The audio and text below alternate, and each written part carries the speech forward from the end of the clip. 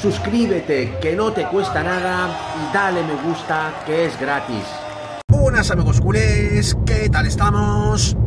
Voy a empezar este vídeo hablando del fichaje de Joao Félix por el Barcelona. Saltó la bomba el otro día, la entrevista que dio el delantero portugués a uno de los mejores periodistas del momento. Joao Félix, pues, le dijo textualmente que su sueño desde niño era jugar en el Barcelona y que su gran objetivo es fichar por el, por el club Blaugrana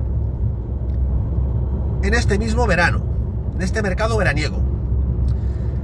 El delantero portugués eh, está entrenando con el Atlético de Madrid y ha rechazado últimamente todas las ofertas que tenía. Joao Félix ha tenido en las últimas horas ofertas económicamente bastante jugosas, pero las ha rechazado todas con el objetivo de poder jugar en el Barcelona este mismo verano y cumplir su sueño de niño. Aquí tenemos que analizar el fichaje de Joao Félix por el Barcelona. Y si de verdad hace falta en el Barcelona o no. Recordemos que Joao Félix, antes de fichar por el Atlético de Madrid, pues sinceramente el chaval la estaba rompiendo en el Benfica. La estaba rompiendo. Era el crack de ese equipo con apenas 17, 18 años.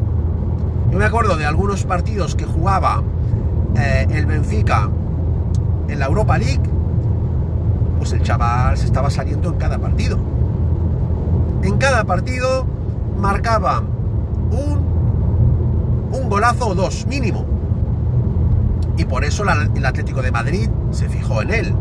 O sea, el Atlético de Madrid no ha pagado 120 millones por Joao Félix, así por así.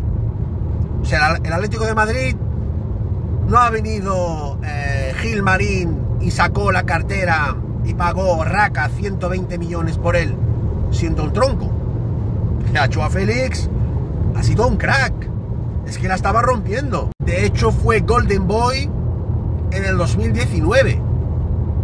O sea que no estamos hablando aquí de cualquier jugador. Hoy por hoy es el fichaje más caro del club colchonero. El Atlético de Madrid hasta el momento nunca ha pagado 120 millones por otro jugador. O sea, Joao Félix es el jugador más caro de la historia del Atlético de Madrid. Y digo yo, por algo será, ¿no? Aquí el problema viene cuando Joao Félix fichó por el Atlético de Madrid y conoció al Cholo Simeone. Para empezar, chocaron. Por tema de carácter, no se han llevado bien. Sabemos que el Cholo tiene mucho carácter y Joao Félix también. Y han chocado. Eso para empezar. Luego, pues el sistema del Cholo, ya conocemos el Cholo. Y el antifútbol. ¿eh? El poner el autobús, el defender con 11. ¿Recordáis el partido que jugó en Champions del año pasado contra el City? ¿Eh?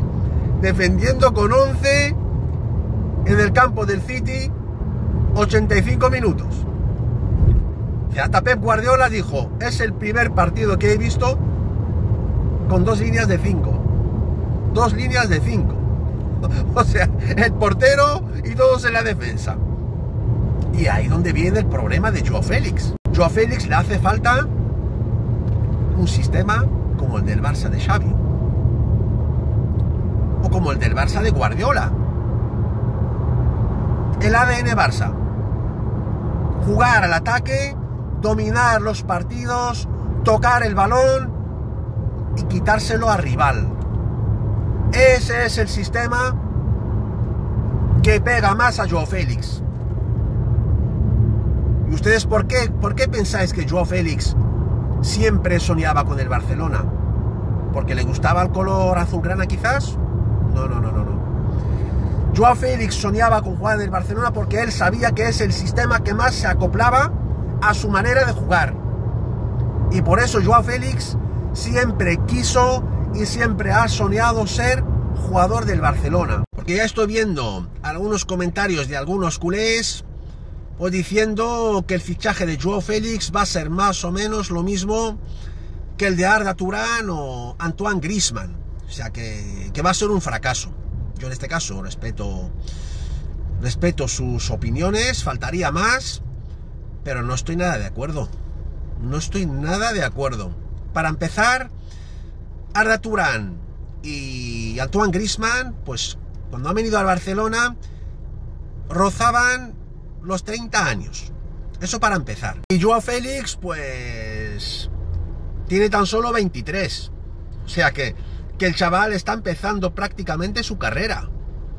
O sea, no se puede comparar un jugador que está casi en la recta final de su carrera con otro que está prácticamente empezando su carrera. O sea, no tienen nada que ver el uno con el otro. Para nada. Respeto las opiniones de los culés que no piensan como yo, mientras cuando sean con respeto, obviamente, pero no lo comparto. Sinceramente no lo comparto. Es más, yo estoy seguro que Joao Félix, si ficha por el Barcelona, va a triunfar.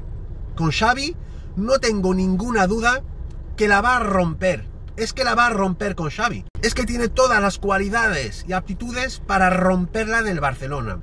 Sobre todo con la manera de jugar que tiene Xavi.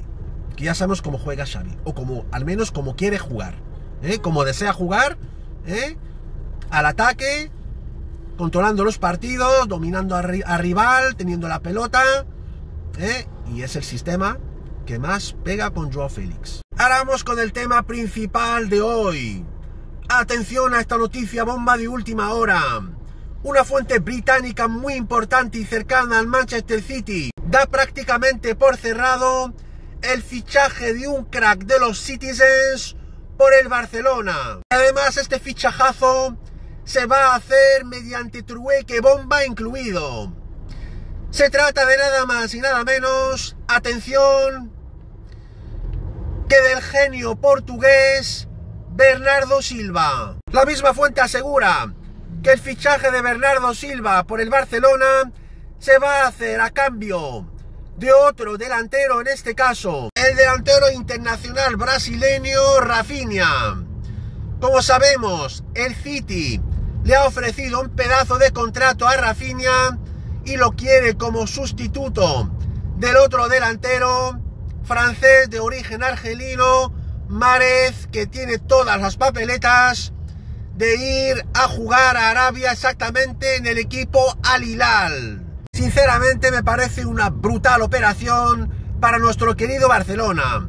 Esta ha sido mi grandísima noticia de hoy, amigos culés.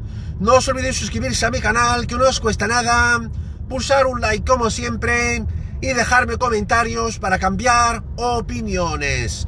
Muchas gracias, Forza Barça por siempre, vamos a por todas y nos vemos muy pronto en mi próximo vídeo.